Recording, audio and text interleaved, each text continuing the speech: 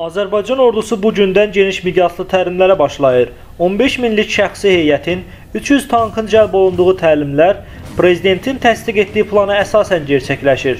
Kanal 13 xəbər verir ki, bunu Azərbaycan ordusunun ehtiyatda olan general-leytenantı Yaşar Aydəmirov publika azı açıqlamasında söyləyib. Birincisi, Azərbaycan Qarabağ torpaqlarının xeyli hissəsini işğaldan azad edib. Bununla əlaqədar yeni tapşırıqlar meydana gəlib. Ordu tərəfindən dövlət sərhədinin himayəsi həyata keçirilməlidir. İkincisi, yeni texnikalar alınıb. Onlar təlimlərdə tətbiq olunmalıdır. Əsasən pilotsuz uçuş aparatlarının tətbiqi və ordu ilə onların qarşılıqlı əlaqələrinin tətbiq edilməsi vacibdir. Təlim keçirməyəndə bu problemlər açıq qalır. Bu problemlərin açıq qalmaması üçün bir neçə üsullarla təlimlər keçirilir. Yeni üsullar araşdırılır. Bütün bunlar yeni əmələ gələn tapşırıqlardır. Yeni anlayışların tətbiqi üçün həyata keçirilən təlimlərdir. Qarabağ cəbhəsində hər an antiterror əməliyyatı ola bilər. Çünki Qarabağ ərazilərində ermənilərin bəzi bölmələri hələ də qalır.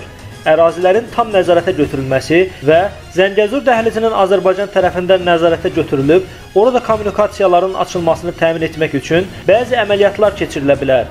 Əgər onlar kapitulasiya aktının tələblərini yerinə yetirməsələr, Qarabağ ərazisində də antiterror əməliyyatlarının keçirilməsi mümkündür deyə Yaşar Aydəmirov qeyd edib.